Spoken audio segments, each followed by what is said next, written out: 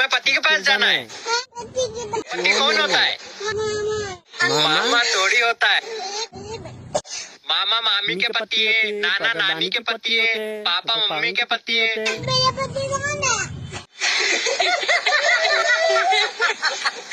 वो कहीं खेल रहा होगा बेटा अभी नहीं मिलेगा वो।